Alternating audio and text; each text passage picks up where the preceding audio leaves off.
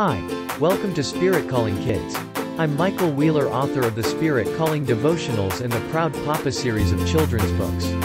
If you like these videos, please hit the thumbs up button and share them with a friend. Now please join us as we sing the Spirit Calling song. Sometimes our souls can become dry as bones. I felt the powerful presence of the Lord, and his spirit took me and set me down in a valley where the ground was covered with stones. Ezekiel 37:1. Our class went on a field trip yesterday.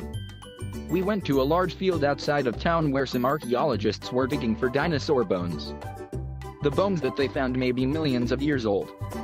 I don't know how they figured out how old something is, but that was long ago.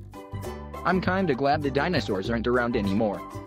They were bigger than my house and would probably take up a lot of room. They might even eat all the trees in our yard. It's so sad that all we have to remember the dinosaurs by is their dry old bones. I wonder if baby dinosaurs would make good pets. Having a pterodactyl as a pet would be fun, so I could fly it to school every day. I could tie it up to the swings in the playground and fly it home after school. I wonder if Tom has ever seen dinosaur bones. Let's visit Tom now.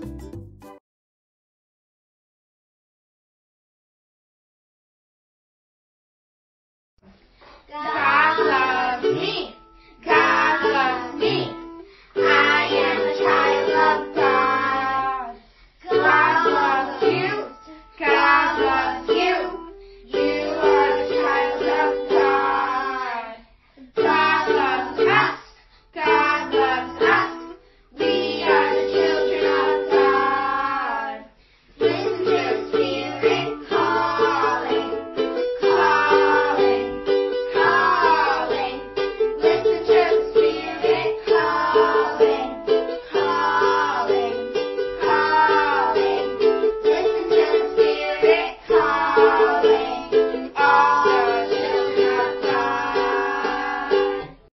Sometimes our souls can become dry as bones. I felt the powerful presence of the Lord, and his spirit took me and set me down in a valley where the ground was covered with stones. Ezekiel 37:1. Our class went on a field trip yesterday. We went to a large field outside of town where some archaeologists were digging for dinosaur bones. The bones that they found may be millions of years old. I don't know how they figured out how old something is, but that was long ago. I'm kinda glad the dinosaurs aren't around anymore. They were bigger than my house and would probably take up a lot of room. They might even eat all the trees in our yard. It's so sad that all we have to remember the dinosaurs by is their dry old bones. I wonder if baby dinosaurs would make good pets. Having a pterodactyl as a pet would be fun, so I could fly it to school every day. I could tie it up to the swings in the playground and fly it home after school. I wonder if Tom has ever seen dinosaur bones. Let's visit Tom now. Do you ever get thirsty, my child? Everyone gets thirsty at times, don't they? What do you drink when you get thirsty to quench your thirst? Some people drink sports drinks to quench their thirst quickly. Other people drink lemonade or tea when they are thirsty. Water is an excellent way to quench your thirst, my child. Your body is made up mostly of water, so replacing the water you lose during the day or after exercising is very important. You will feel better immediately after replacing the water you lost from your body. What do you do when you are spiritually thirsty? How do you replenish your spirit, my child? Being busy all day and neglecting your soul can leave you with a dry spirit, like dry, dust dinosaur bones. Do you remember what a prophet is, my child?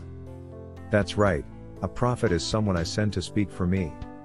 Many years before Jesus was born, my prophet Ezekiel came to tell my children that they were like dry bones.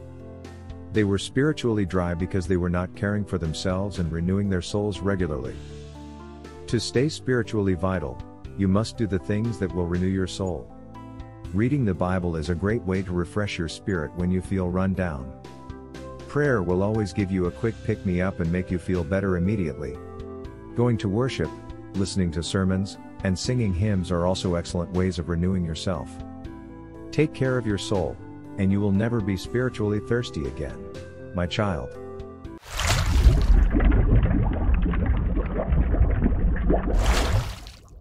I blessed you with a body. Always care for it. I blessed you with a spirit. Always give it spiritual water. Never be spiritually thirsty.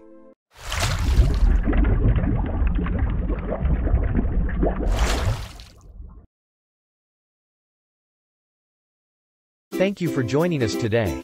I pray that you had a good time, learned a lot and were blessed by your time with us. Now let's join Amelia, Quinn, Addie and Alice as they sing our blessings. And always remember, there is nothing closer to you than the Spirit of God.